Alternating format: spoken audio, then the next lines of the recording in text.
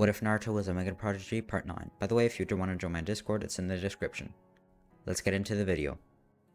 The Leaf is now prepared to fight to the very end and win their peace back once and for all. As the Akatsuki had been recruiting new members and getting stronger and stronger, so shutting them down right now would probably be the best and easiest method to defeating the strongest group of Rogue Shinobi, the Akatsuki. The Shinobi of the Leaf have been getting stronger and stronger, gathering information and strength, training like there's no tomorrow, and some of them were even preparing to sacrifice their lives to win this fight, as every single one of them knows that the Nine Tails attack could have gone very, very different. And if the Akatsuki has more of those kind of plans up their sleeves, then they would have to be shut down immediately. Else, the village, no, the whole world would be in trouble. Now their preparations were almost complete, and most of the shinobi were ready for the fight of their lives. Not really though, since they did have a major war a few years ago, but we're gonna ignore that for now. It was a big fight. Anyways, all of the Anbu were ready to fight. Defenses were rubbed up to the maximum, so if the Akatsuki tried to take the Konoha, the Leaf Village, off guard, they'd be prepared too. All of the possible prerequisites were met. There was no way Konoha could lose at this point.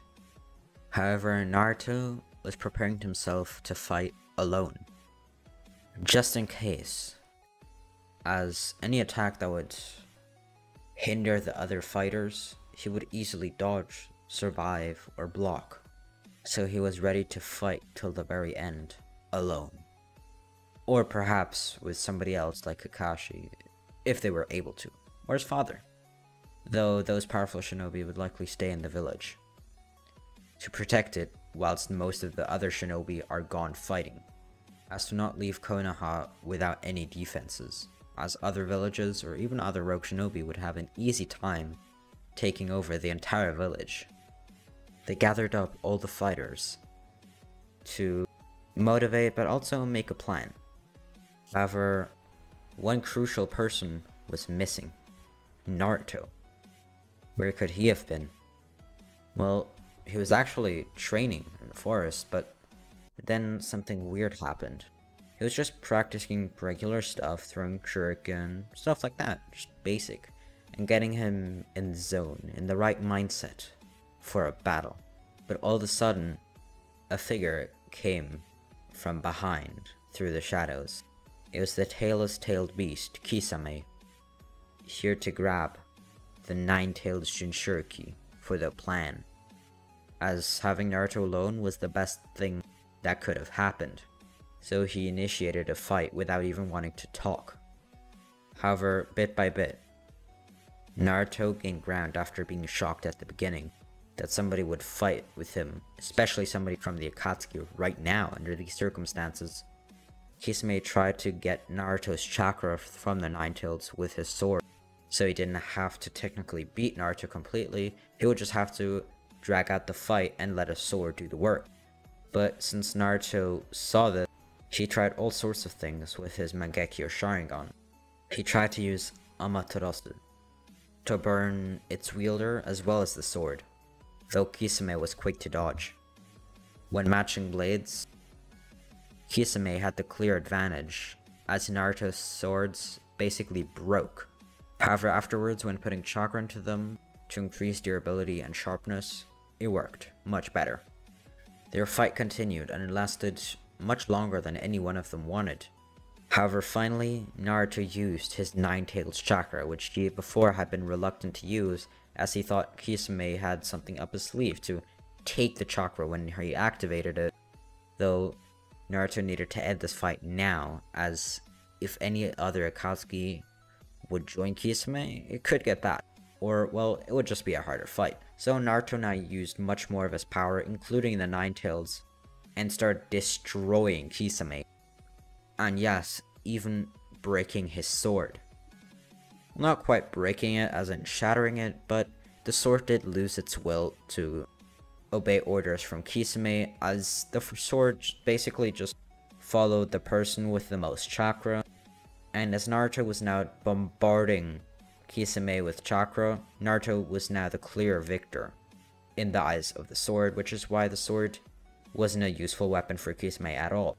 Even more tying the odds in Naruto's favor.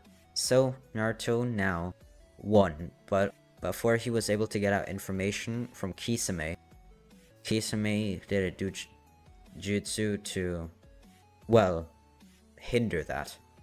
To be exact, Kisame was now dead. By his own choice, by the way. Anyways, Naruto got back and reported what happened. The meeting from all the big shinobi groups and individuals had now been over, so Minato went directly to Minato in the Hokage's office, who was still conversing with the elders and others. They were all shocked that somebody from the Akatsuki would do such a thing, and would attempt to, in basically, assassinate one of the Leaf's strongest shinobi, which was truly an eye-opening experience that truly showed that it is justifiable to do such things and completely mobilize almost all of the troops of Konoha to eliminate these rogue shinobi. As if they could pull this off now, who knows what they could do in 10 years with that kind of power and it's growing? They could probably kill even the Kage so they never wanted to let that get out of hand. And that was exactly what they were about to do. Now first, they're going to send an attack squad. This was mostly made of very powerful Anbu, as well as a few Jonin to assist, though it was mostly going to be the Anbu who attacked first, as they could sneak up on their uh, opponents and try to eliminate them. This was led by none other than Naruto, of course, and they first wanted to get somebody named Hidan, somebody immortal who seemed unstoppable. Though when they arrived, there was something bad. Very bad. Not only was it Hidan, the immortal person, it was also Kakuzu, a man likely over a hundred years old, and nobody knows exactly how old he is. He had previously battled Madara. Nah, just kidding. He didn't battle Madara, though he did battle Hashirama, who is likely on the same level as Madara, if not sometimes even shown to be a little bit stronger. However, of course, Kakuzu did lose to Hashirama, though he still got, well, a quote-unquote fight, though nobody actually saw it or spectated, so nobody actually knew how it went. So of course, they knew he didn't win, because else history would have been very, very different.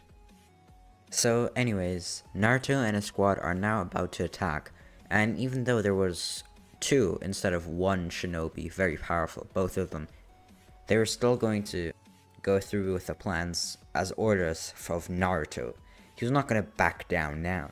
He knew that he had the power to defeat them. There's no way he would turn back now.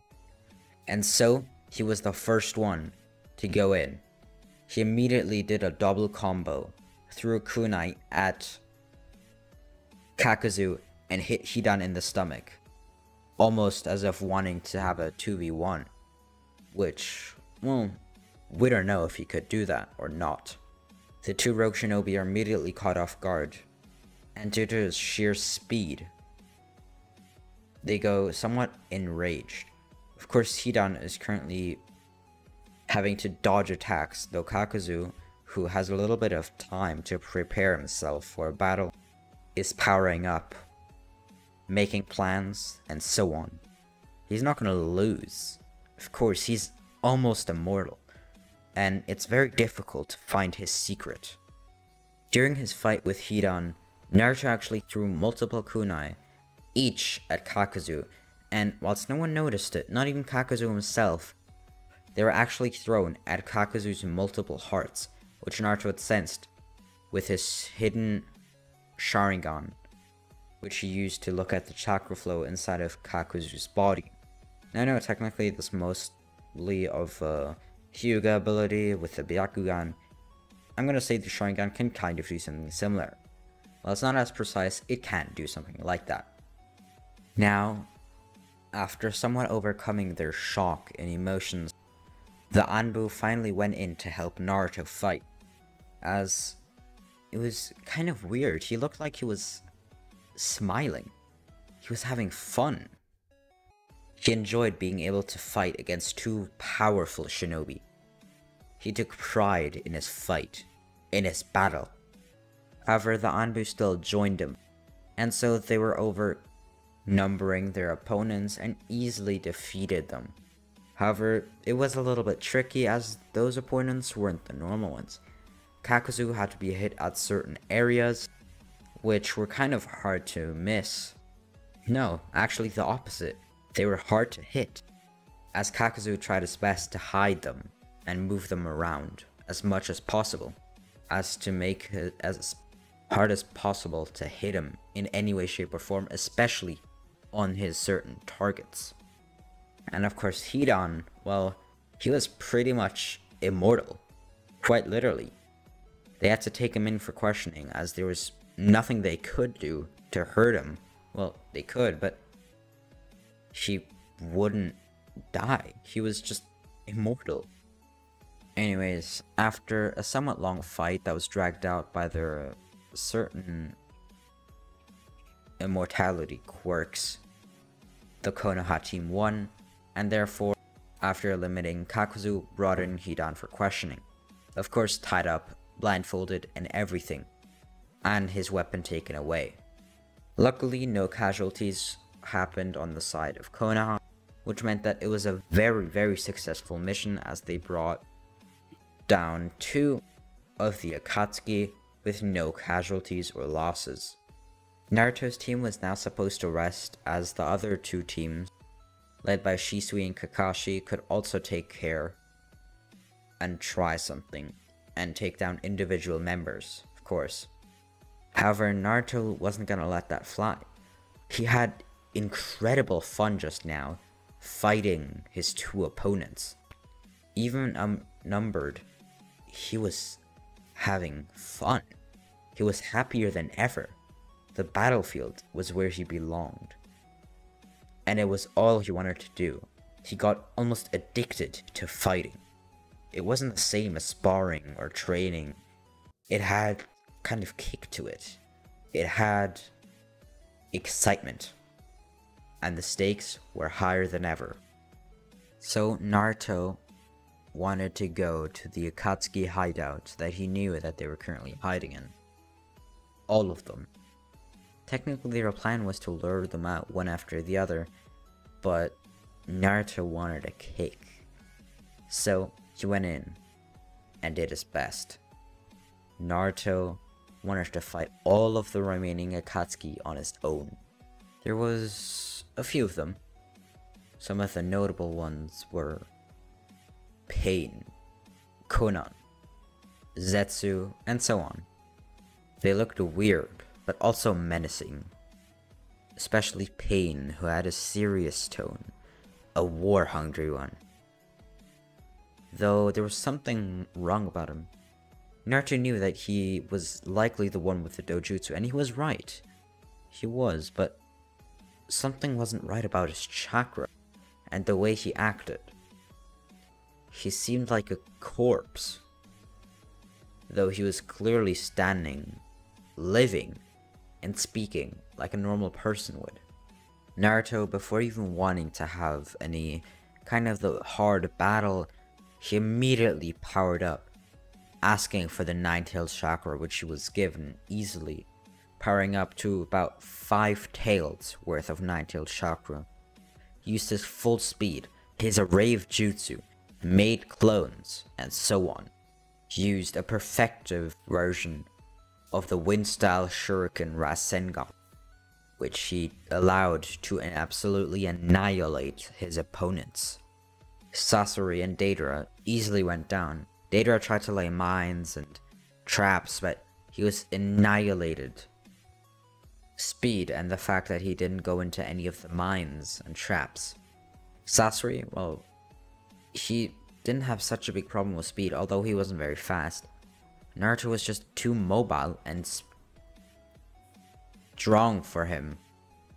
Naruto easily outmatched both Deidara and Sasori alone, without even having to try a whole lot. Then afterwards the harder battle came, Pain and Konan. Naruto fought a battle unlike anything a normal shinobi could imagine, though with a superior speed and chakra. He was easily able to outmatch Konan, and then Pain, he seemed to kind of fall over dead, and then new Pains, with a different look and different body, came from the shadows. He seemed to be fighting multiple of the same people until all six were down.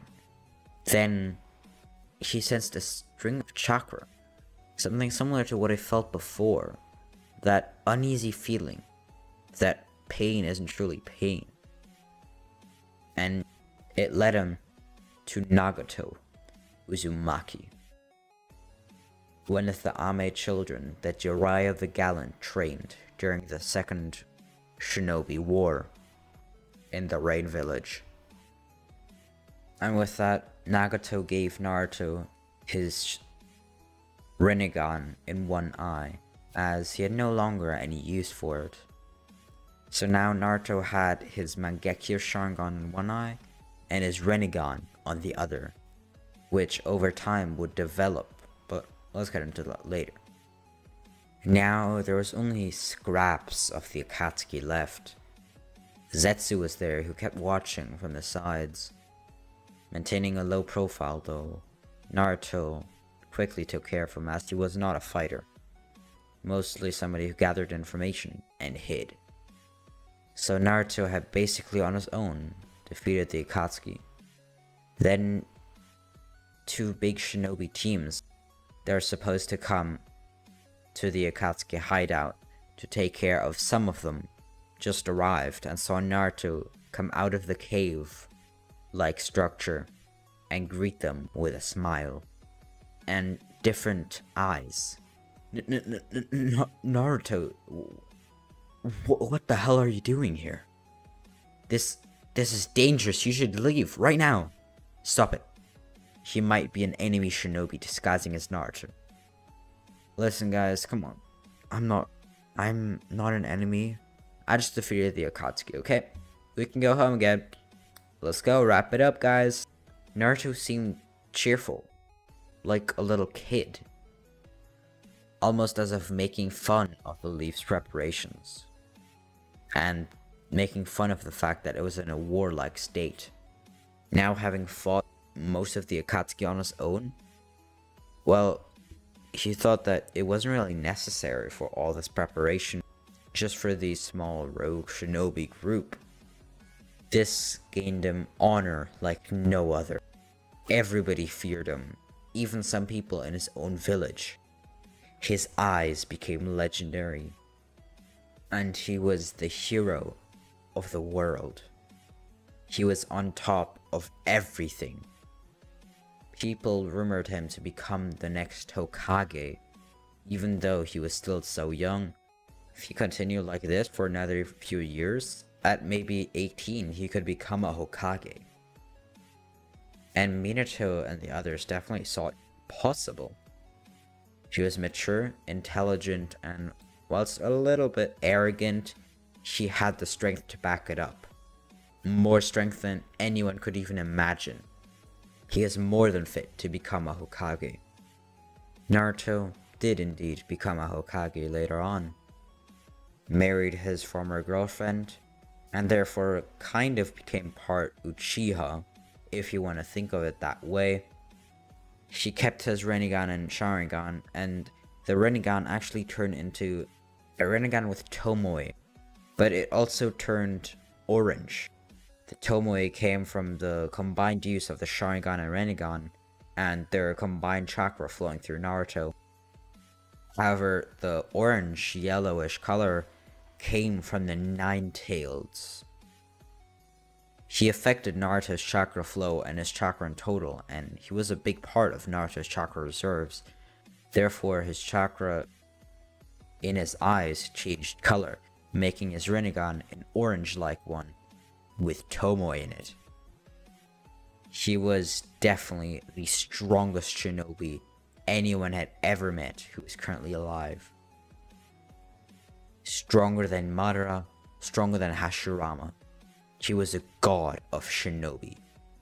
And he became the fifth Hokage too, becoming even more legendary than any of the Sannin or previous Hokage, or Madara. Some said he was the next Sage of Six Paths, some said he was even greater. Some said he was a god from heaven. He was the ultimate shinobi that's where I'm going to leave off the video today. I hope you enjoyed. Make sure to like, subscribe, and I'll see you in the next one. This was a great series. Hope you enjoyed. I'll see you in the next one. Peace.